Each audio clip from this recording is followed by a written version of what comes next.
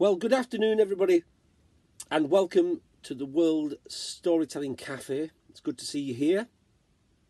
And it doesn't really matter what time you're joining us, whether it's the morning, the afternoon, or the evening, you are very, very welcome. And if this is your first entrance to the World Storytelling Cafe, I could highly recommend you getting yourself a little drinky poos, maybe a cup of tea, cup of coffee, uh, maybe a hot chocolate if you're joining us in the evening, or throw caution to the wind. Doesn't matter if it's the morning, you can have a hot chocolate, can't you? Or you could maybe get yourself into something a little bit stronger and uh, settle down and uh, enjoy the plethora of storytellers who have taken the time to record their tales for your wonderment and delight. And I can tell you there are some cracking tales out there at the World Storytelling Cafe. And if you're enjoying the stories at the World Storytelling Cafe and the storytellers themselves, if you look carefully on the website, there's a little hat symbol. And that hat symbol is for you to, if you would like to, show your appreciation for the time and effort people are putting into recording the stories to entertain you by putting a little tip into uh, the hat. And I can uh, tell you that the all proceeds go directly to the storyteller that you're tipping. So if you just look out for the storyteller you want to tip and pop them something in the hat, I'm sure, like me, who's uh, lost all their work uh, for most of this year now, uh, um, it would be very, very, very grateful for a little, uh, a little nod and tip of uh, the hat. Uh, anyway, I shall stop prattling on and uh, tell you some stories if you're up for it. I've been thinking about what stories to tell you, and I've put a little set together, and hopefully I can record them without making too many mistakes. Uh, it's tricky when you're recording them rather than doing it live. When you do it live, you can get away with all sorts of things. When it's uh, when it's recorded, every little mistake seems to seems to resonate a little bit more. So I'll see what I can do for you.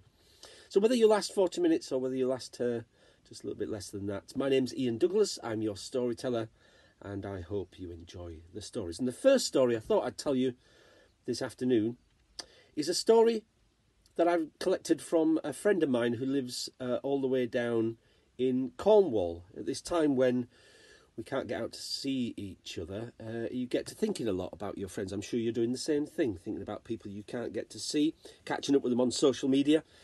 Uh, well, uh, one of my oldest friends is a man called Gary Cordinley, and he lives down in Cornwall, and he is a storyteller, and I've known him for quite a long time. He, I remember him telling this story, and uh, it was one of those stories that went straight in here and straight back out here. So I hope he doesn't mind uh, me telling this story. Uh, and it goes something like this.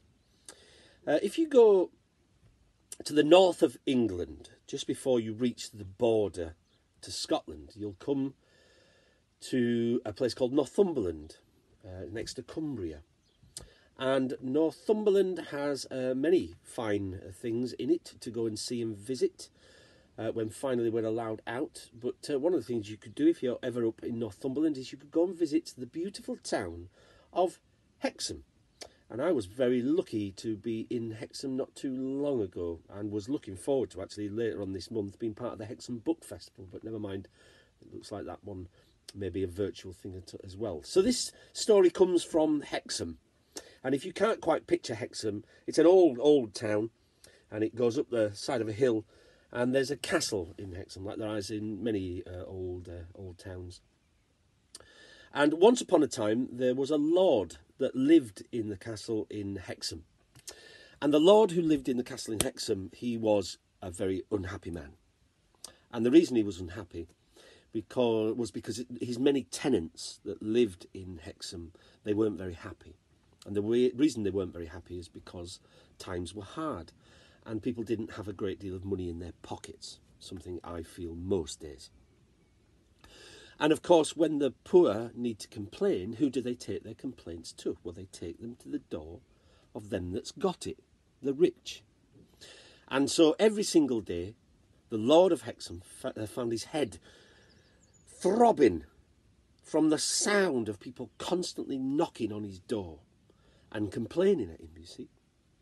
And all he wanted was to find one day of peace, one day of rest. And so early one morning, he just got out of bed and he was sat on the edge of his bed in his robes. And he was scratching his head and thinking, how could he gain just a day of peace? And suddenly an idea came to his mind. He thought, that's it. What I'll do is I'll have a party. Well, who doesn't like a party? And I'll, uh, I'll show people such a good time that the following day they'll stay in their beds. They'll be so tired from the party. They'll stay in their beds, so content, they'll stay in their beds and they'll give me a day of peace. And so he goes from his bed and uh, across to the wall, and on the wall there, there's a great red rope. And he holds out his hand and he pulls on the red rope. And somewhere down in the bowels of the castle, a little bell rings. And it rings in the room of Godfrey. And Godfrey is the Lord of Hexham's servant. Well, Godfrey jumps up, and as quick as a flash, he runs up the stairs to the chambers of the Lord of Hexham. He goes inside and he bows low and he says, Yes, my lord. Godfrey, says the Lord of Hexham, I've got a task for you. We're going to have a party, Godfrey, for all the tenants in Hexham. And to make that a successful party, I need you to do something for me. I need you to take this bag of gold and I want you to travel with a horse and cart down into the great market of Hexham. And I want you to buy with this bag of gold as much beer, wine, breads, fine meats, puddings, juice for the children as you can. Pile it as high as you can on the cart and bring it back. We're going to have a, a bit of a shindig. Yes, my lord, said Godfrey. Now hang on a sec, Godfrey, said the Lord of Hexham. I've also got another task. When you've bought all the beers and wines and breads and cheeses and juice for the children, I want you to take this second bag of gold and I want you to go back into the market. For there's a stall in Hexham Market, I'm told, that has trinkets from all around the world. I want you to buy a trinket, a small gift for every tenant in Hexham as a sign of appreciation. Yes, my lord, said Godfrey. And as quick as a flash, he took the two bags of gold. He went down to the stables, he got a horse and cart, and he set off into the great market in Hexham. Now, this is an old story, and Hexham, at the time of this story, was one of the great markets. It stretched right across the town, in fact, beyond the bounds of the town itself. It was so big. And Godfrey was hard pressed uh, to buy all the things he needed breads and wines and beers and cheeses, and he piled them as high as he could upon the cart, and he turned tail and he went back to the castle. He handed the reins of the horse to another servant, and then he went to complete the task. He took the second bag of gold, he went back down into the market to find the stall. And it took him quite a long time, but eventually he saw the right stall. He could see there were unusual trinkets that looked like they'd travelled from afar.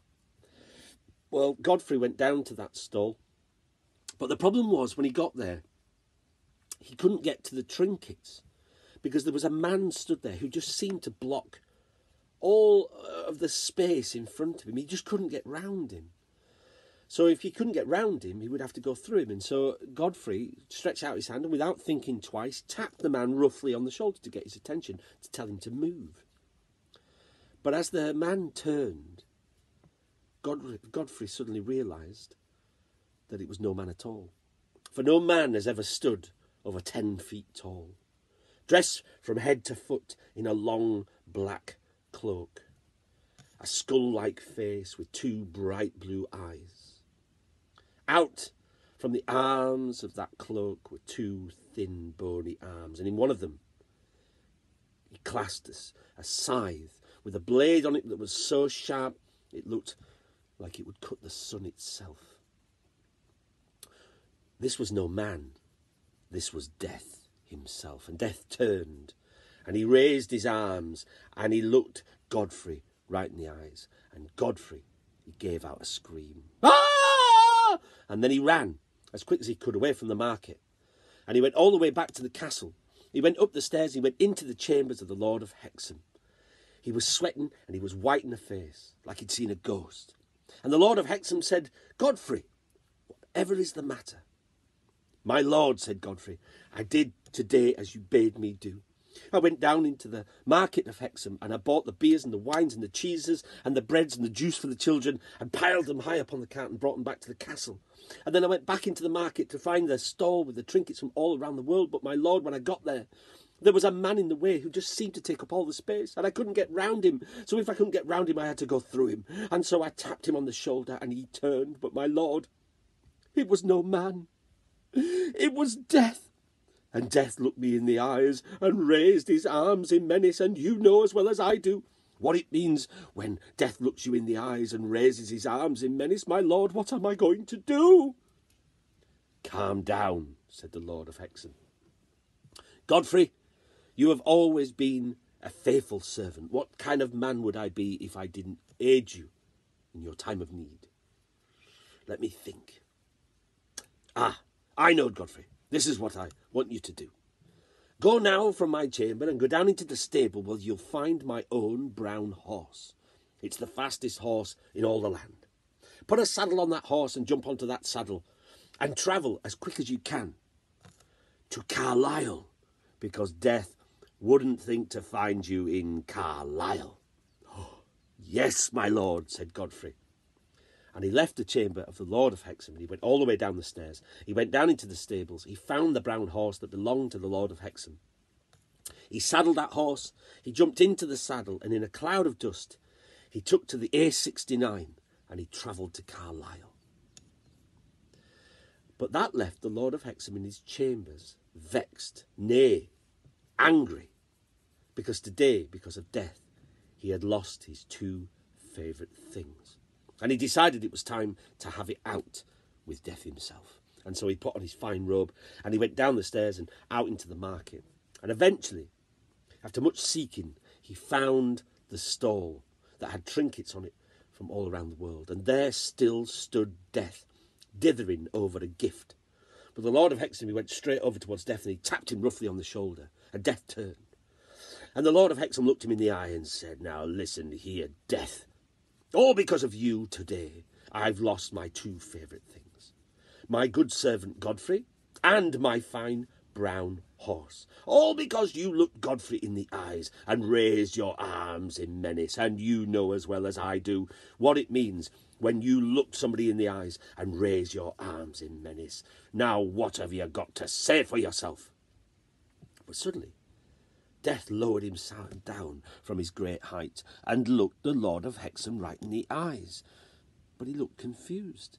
And he said, My lord, I didn't look Godfrey in the eyes and raise my arms in menace at all.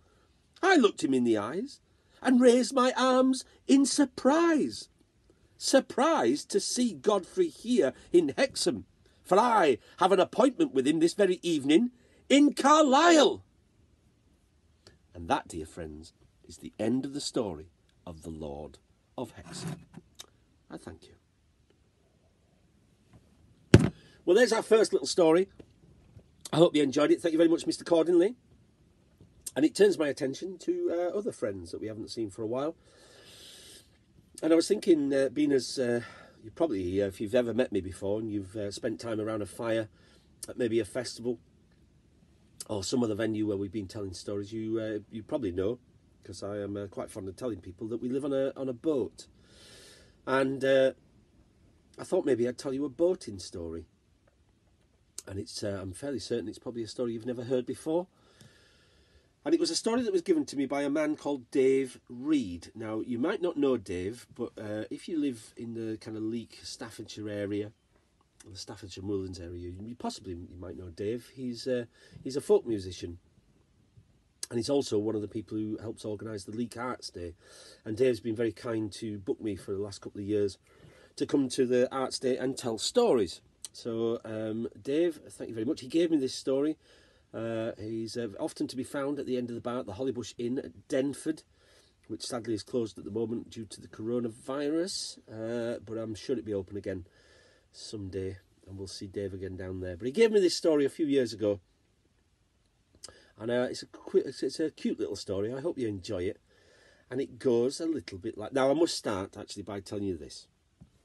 Now I'm a Yorkshireman, proud, born and bred, and as far as I'm concerned, there are a few delicacies in life, but there's nothing finer than a well-made Yorkshire pudding. And uh, of course, if you're from Yorkshire, you are taught the secret ingredient. I'm afraid I'm not able to tell you the secret ingredient uh, because uh, it's kept only for people from Yorkshire. Uh, but uh, uh, anyway, I, I, as far as I'm concerned, there's nothing finer. It is the elixir, it is the ambrosia of life as a fine Yorkshire pudding. But I will tell you this: I have come across something that that um, is is up there, and that's the Staffordshire oatcake. And if you can get yourself a, a freshly made Staffordshire oatcake, that is, fresh off the stove, maybe with a fried egg inside it, it's a fine little uh, little ditty to eat, especially with a pint of ale. Uh, but anyway, so this story concerns oatcakes as well, and it goes like this. Once upon a time, a long time ago, there was an old lady called Mary. Now, Mary lived on a boat just like me. Her boat was about 40 foot long, and at the back of the boat, there was an old stove. And Mary would use that stove early in the morning to make oatcakes, and she would make as many as she could in the time that she had. She would rise really early and make up the batter and get it onto the stove. And she would make them, and, and when they were hot, she would wrap them in paper. And when she'd enough, she'd travel away from the boat and up towards the potteries of Stoke-on-Trent, and she'd sell them at the gates of the potteries of a morning. And the workers were going to work, you see. And her oatcakes were so good. People would say, Mary, those oatcakes would tempt the devil himself. Now, Mary would hear this often, but she didn't like it because Mary was a godly woman. She was very devout and she was fearful of the devil. And just in case the devil ever decided to come and visit to get one of her oatcakes, she would keep the rosary close to her, you see, and would always say her prayers. But I'll tell you something about Mary. Mary spent so much time thinking about oatcakes that she didn't spend a lot of time thinking about herself. Her boat was so unkept, the paint was stripping off, and and Mary's clothes were tattered and frayed, and people worried about her. Now, one evening, she's making her way home after a good day selling the oatcakes, and as she's going along the towpath, she suddenly remembers that she's forgotten to get herself some kindling. Now, she's got plenty of coal for the fire for the morning, but she's got no kindling. Without any kindling, there's a good chance she won't get the coal to light. So she starts to look down the hedgerows as she's walking down the towpath to see if she can find some dry wood that she can use to light the stove. But suddenly she looks and she can see there's a, a, row of boats and they're all moored on the side of the canal there. And there's no finer sight, she thinks to herself, than the moored boats and the twinkly twilight night. All their lights lit inside and the stovepipes sending the smoke straight up into the air. It's a cold and still night when suddenly she looks at the boat that's moored up just behind hers and she sees there's a little stack of kindling on the back deck and she thinks to herself, do you know, well, it wouldn't be stealing and ungodly if I took a, lo- a few of those sticks but replaced them in the morning, like for like. And so she makes a decision and she steps a foot onto the boat and she picks up a few of those kindling sticks and she puts them under her arm and as quick as a flash she runs off down the towpath to her boat she goes inside, she puts a spark to the kindling, gets it going and puts the coal on there. And before you know it, she's got that stove nice and hot. And it'll keep in for the morning, you see. But I'll tell you something, and here's the truth. You should never, ever, ever step on somebody's boat without asking first. It's very, very bad. What you can do is go up to the side of the boat and knock, and uh, and uh, don't look in. That's also uh, not a done thing either waiting to be invited on, you see. And I'll tell you another thing as well. When you've lived on a boat for a while, you get to know how the boat moves. And you can always tell if somebody stepped on your boat, you see, the way that the boat rocks from side to side. And the man who owned that boat was actually on the boat. Mary didn't know. And he was on the boat and he felt the boat rock like somebody had stepped on it. As quick as a flash, he'd run up to his back hatch to have a look out, but there was nobody there. But was suspicions were raised, you see. Well, let's skip to the second night of the story. Mary's had a good day up at the pottery selling the oatcakes, and she's making her way back down towards the boat. And again, she remembers, ah, she's forgotten to get kindling. And not only that, she hasn't even replaced the stuff from the night before. But she's tired. She's an old woman, and she hasn't got the time to go out trying to collect kindling. She looks on the boat again, and there's that little stack of kindling on the back of the boat there. And she thinks to herself, do you know, well, once is ungodly, second time, well, that's theft. But if she replaces it in the morning, well, all would be well, and God would forgive her. So once again, she makes the decision. She steps her foot onto the back of the boat. She picks up a bit of kindling and she heads back to her boat. She puts a spark to the kindling, puts the coal on top. Before you know it, she's got that stove. uh, roaring merrily, and it'll be enough to stay in for the next morning.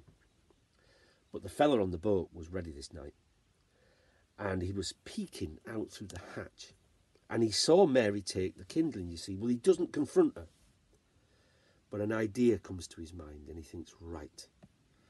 First time he's ungodly, second time he's stealing, and a third time, well, as you probably know yourself, three is the charm in stories. If Mary comes back a third time, I'll be ready for her, thinks the man. Well, the next morning, up gets Mary. She stokes up the fire. She gets the oatcakes cooking. She gets them wrapped in paper, and she goes. And the man sees her going up the towpath, and he sets to work. He goes to the back of his boat and he picks up the kindling that's at the back of his boat and he takes it inside. And he goes to one of the drawers in the boatman's cabin, and inside the drawer there's a tin, and in that tin is something that's called black powder. Now, if you don't know what black powder is, you'll well, I'll tell you. It's gunpowder. Now, I don't know why he's got it. The story doesn't tell, but I can tell you what he does with it. He takes a needle, thin needle that he uses normally to darn the cover for his hatch, the canvas, you see, and he starts to stick that needle into the end of the kindling to make little holes, you see. And when he's satisfied there's enough holes in the kindling, he takes the black powder and he carefully stuffs the black powder into the kindling, hides it so it can't be seen. And when he's done, he takes the kindling back outside, he puts it onto the back deck, and then he sits inside the boat, smokes his pipe, drinks his tea, and he waits. Well, that evening, the third evening of the story, Mary is indeed coming back down the towpath, and for the third time, she's forgotten kindling. But this night, she doesn't even think about replacing it. This has become a habit now. Once is ungodly, twice is theft. Third is the devil's work. Well, of course, she steps on the boat, she picks up some of that kindling, and she takes off towards the boat. She goes inside, she goes to the stove, she opens up the stove door and she puts the kindling inside there, and she sets a spark to that kindling and gets it lit. And then she closes the door and waits for it to start to roar. Well, of course, what she doesn't know is that that kindling is stuffed full of black powder, gunpowder, and suddenly there's a great big boom. Boom! And when the smoke settles, there stands Mary. Now her dress isn't tattered anymore, it's scorched, and her hair's standing on end, and her face is all sooted up. And as the soot settles in the boat, she can see that the stove, well, the pipe of the stove has blown clear out the top of the boat and is now in the cut in the water. But Mary doesn't know anything about the black powder inside that kindling, and all she can think that it's is that it's old Scratch, that it's the devil himself, and that he's come down the stovepipe and he's going to come out of that fire to steal her oatcakes. And so, as quick as a flash, Mary, she packs up that boat, she turns on the engine, and in the darkness she sets off from the Caldon Canal, past the potteries and away from Stoke-on-Trent, and she was never seen on the Caldon Canal again. But the old boater, he sat, he heard that boom, he heard the boat leave, and he smoked on his pipe that night, he drank his tea, and he chuckled. and that, dear friends, is the end of that story. I thank you. Well, you know, when you think about friends and friendship, especially in these times when you can't see people, you think about the people who have helped you and have been there for you. And I was thinking this morning about my good friend, uh, Mr. Bridgens, Mr. Gary Bridgens, and I, I think, I'm hoping that Mr. Bridgens is going to make an appearance on the World Storytelling Cafe at some point. He might even be thinking about a set of stories at this moment in time, I'm hoping. But I was thinking of him this morning and I was thinking of a, a story that I might tell for my friend Gary, because I dedicate stories for all sorts of people who are having birthdays and things, but I've never dedicated a story for my friend Gary Bridgens before. So, Mr. Gary Bridgens, this story is a story about friendship, and it's all for you. And it goes something like this. Once upon a time, there was a traveller, a travelling man. And this travelling man, he would travel the length and breadth of the country north, south, east, and west. Uh, well, I must tell you about this man. You see, this man was one of the kindest men you could ever ever think of. A bit like Gary himself. He always had a good word to say to somebody. If you were down, he'd sing you a song. If you were hungry, he'd share his food. There was always a place at his table for you, and he made his table wherever he travelled. If you were poor, he'd share his money. If you were thirsty, he'd share his ale. Well, one day the man was travelling north, and it was winter time, and the winter was coming in thick and hard. It had been snowing for many days. And to get some shelter from the snow, he decided to go through the trees, through the forests, through the woodlands. And it was night time, and he was thinking about settling down for the night. when suddenly, off in the distance, he heard a strange sound. And as he listened carefully to that sound, he could hear that it was the sound of an animal, and that the animal was in distress. Well, he didn't want to leave an animal in distress, you see. This was a kind man, a, man with a good heart. And he know, knew that it was pays to look after the spirits that live in the forests, you see. And so he travelled towards that sound. It was way off in the distance. And he had to come off the path and into the trees. And he trudged through the trees, he trudged through the snow in the darkness, until eventually he came to a clearing. And as he came to the clearing, he peered into the clearing, and suddenly his eyes opened wide. He couldn't believe what he was seeing. There in the centre of the clearing, there was an animal. Well, he'd seen brown bears before, he'd seen black bears before, and he was very fearful of them. But he'd never in his life seen a pure white bear.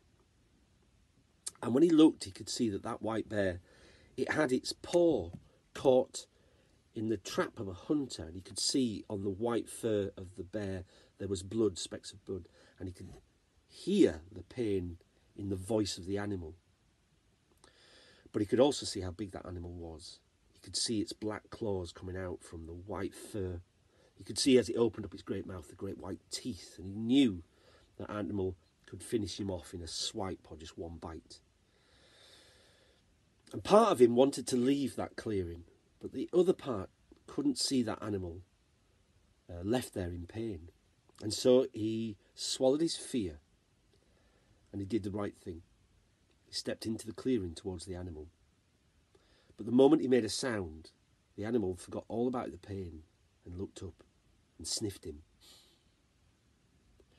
But the man didn't stop. He went towards that animal, even though he could hear the rumble of the growl of the animal as he got closer and closer. Well, he didn't want to look it in the eyes because he didn't want the animal uh, to be fearful of him or to or to attack him.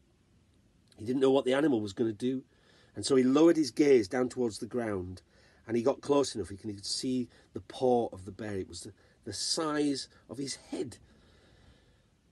And then he did the bravest thing he could do. He stretched out his two hands and he prized open the trap to release the bear. And then slowly he stood up and he made to leave. And that's when the bear pounced. And it jumped on top of him and it pinned him down to the ground. And the great head of the bear came face to face with his and it showed its teeth.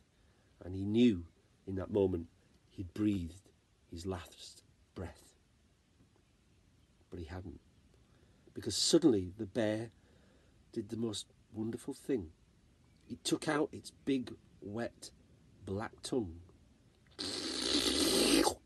and it licked him a kiss up his face. Well, the man couldn't believe it. And slowly he took his hand and he swallowed deeply, but he put his hand up on top of the head of the bear and ruffled its white fur and the bear kissed him again. Well, the bear released the man and he stood up and he looked the bear clean in the eyes, and in that moment their friendship was cemented. But the man knew that he had to travel on, you see, and so he made to leave the bear behind. He walked away from the clearing, but as he turned round, he realised that the bear was coming with him. Well, the man tried to shush the, uh, the bear away, but it wouldn't turn. It came with him, you see, and so they were companions. And they walked together. They travelled north, south, east, west, and wherever he went, the bear went with him. And if the bear was hungry and couldn't find food, the man, well, he would go to the town. He would use what little money he had and he would buy food for the pair of them. And if the man had no money, the bear would hunt and bring back fish, which they roast on a fire and eat together. And in summer, when it was so hot that the bear could hardly, uh, hardly uh, suffer the heat of the sun, the man would find a river and they would swim. And in winter time, when the man was so cold that even his coat wouldn't keep him warm and the heat of the fire wouldn't keep him warm, the great bear would wrap its great arms around him and the fur that it wore would keep him warm. But this winter was so bad, so cold, that not even the fur of the white bear could keep the man warm. And the man knew that they needed help. They needed shelter. So they travelled. And eventually, as they travelled through some trees, in the distance the man saw a light, and he knew it was the light of an house. And he decided he would go and ask for help. But as he was walking towards the house, he thought, well, in the darkness here, if they're to see the white bear, they're going to be fearful. And he asked the bear to hide round the side of the house. And he went to the door and he knocked. Well, he waited some time until eventually the door opened, just a crack. And there in the doorstep there was an old man. And the old man was wizened with little glasses, half glasses on his face, and he was holding a candle in a shaking hand. And he looked beyond the man and he could see at the side of a table there was a, a woman who looked like his wife and their daughter, a young girl. And the old man asked him what he wanted. And he said, Listen, it's so cold outside that me and my companion were sure to freeze. Would you let us in and warm ourselves by your fire? And the man said, Listen, I can see it's cold outside, but you can't come in. He said, It's so cold outside and the snow is falling so thickly that we shall surely freeze. Would you let us come in? He said, I can see that the snow's falling, but you can't come in. He said, Listen, if we stay outside much longer, we're sure to freeze. And would you want that on your conscience? I wouldn't want it on my conscience, said the old man. But you can't come in. And eventually he asked for why. And the man said, Well, it's the bogles. Well, you've never heard of bogles. They're strange little creatures. They stand no higher than this. They're bald upon their heads, they've got large saucer eyes and long stretching fingers, and what they like to eat more than anything is children. And they come here every night, for they live across there in the trees. A gang of a hundred and fifty of them, they crash and they bash my door down. They're after my daughter, you see, when we lock ourselves upstairs so they can't get to us. And if I let you inside, they're sure to get to you. And I wouldn't have that on my conscience either. Well, suddenly the man scratched his head and he looked at the old man and he said, Did I introduce you to my friend? And he whistled for the white bear. Well, when the man saw the white bear, his eyes opened wide and he welcomed them inside. Well, they went inside and the man, he took off his coat for the fire was so warm. The white bear was so tired from the journey of the day that he curled up by the side of the fire and went straight to sleep, snored merrily. Well, they sat and they ate bread together and food together. They drank tea until eventually it was time for bed. And the old man bade them good night and safety and hoped they would see him in the morning. They went, the man and his wife and the daughter, up the stairs, locked the door, and the man waited by the side of the fire until eventually, outside, he heard a sound the sound of laughter. Well, he went to the window and he wiped away the frost and he looked outside. He couldn't see anything. And so he waited by the fire again, still the white bear snoring merrily to itself when he heard the sound again. well, he went to the window again and he had a look. And could he see anything? Oh, yes, he could.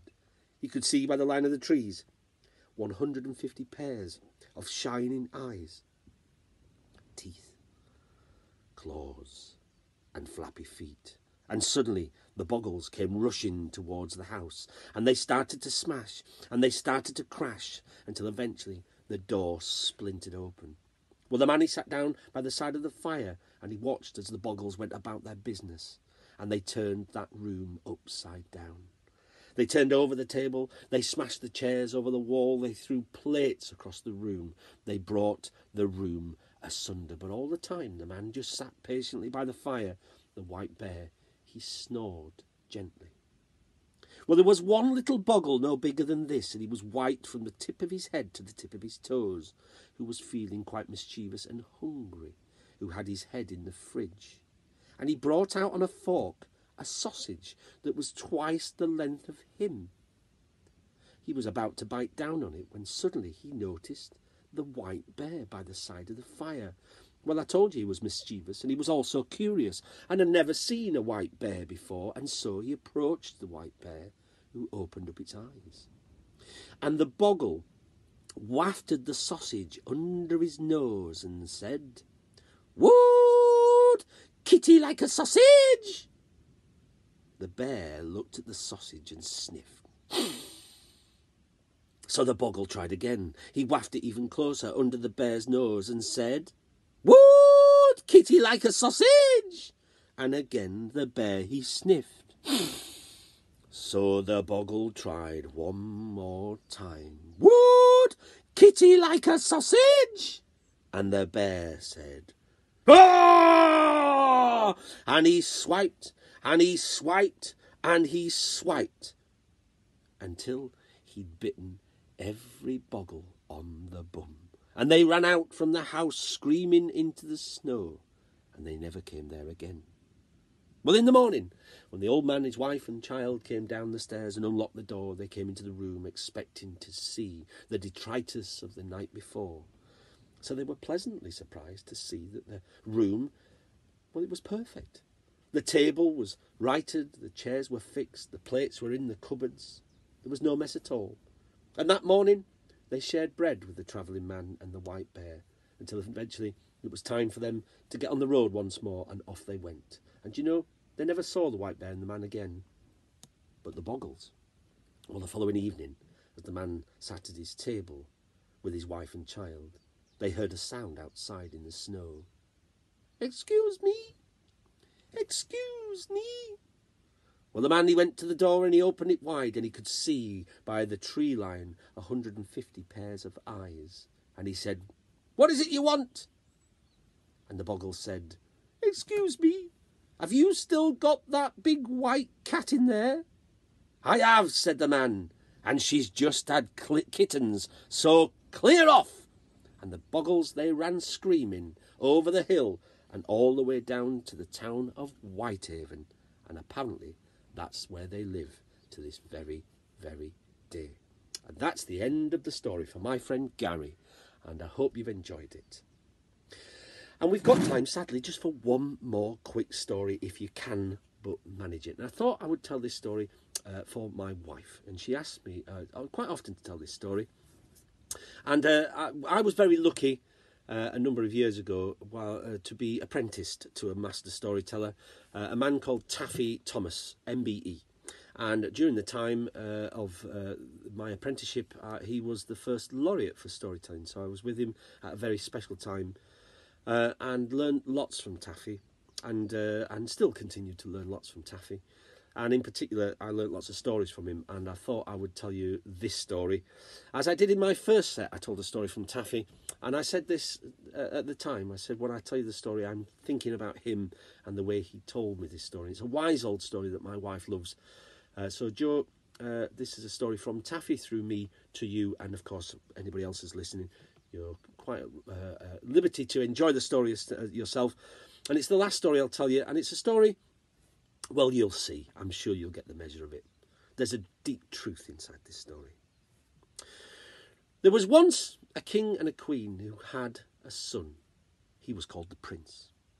Now, this prince, he was bone idle. He was lazy. And whilst everybody did all the work, he would lay on the sofa watching telly and drinking his favourite cup of juice. Well, it saddens me to tell you, and I don't know how it happened because Taffy never told me, but the king and the queen they died. And suddenly, well, they do say, do they not? The king is dead. Long live the king. The prince, he found himself with a crown on his head. Well, Taffy will tell you this. Some people, they seize responsibility. Some people are handed responsibility. And some people have responsibility forced down upon their shoulders. Well, on the very same day that that young prince became the king, stories started to arrive from the mountains. that a giant had arrived who was so ferocious that nobody dared pass. In fact, if you went high up into the mountains, you could hear the words of the giant, and you can learn them and say them with me if you like. Swish, swash, bang, boom, I am your nightmare. I am your doom, followed by a splat as the great big hairy foot of the giant would come down and kill you, squash you like a cowpat. Well, one day they came to the young king and they said, Your Majesty, that giant's so ferocious that people, they're no longer coming through the mountains. They're not bringing trade anymore. Without trade, we'll have no food. With no food, we shall starve. You shall do something about that giant. Well, the young king, he scratched his head. He wondered what to do until eventually an idea came to his mind. Of course, because he was king, he had an army. And he called together his knights. And he said, Tomorrow you'll take your armour and your swords and you'll climb upon your horses. You'll go up into the mountains and you'll kill that giant for me.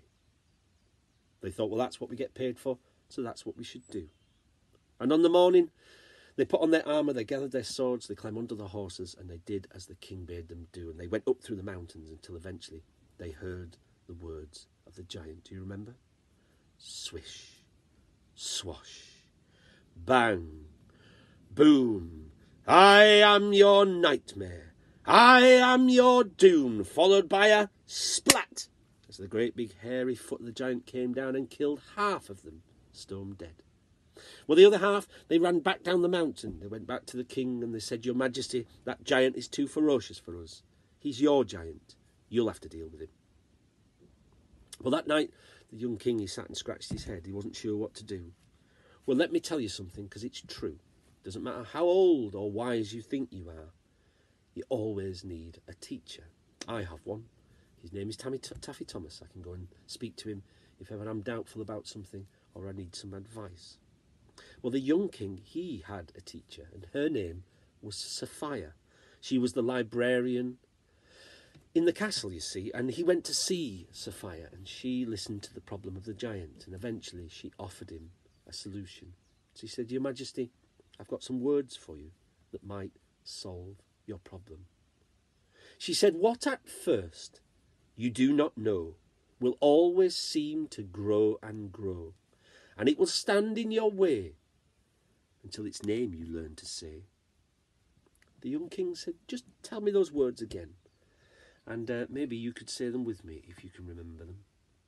What at first you do not know will always seem to grow and grow, and it will stand in your way until its name you learn to say. Well, armed with those words, the young king he went out from the library, he thanked Sophia, and he went to see all the subjects of the castle, and he said, Tomorrow I shall face the giant myself.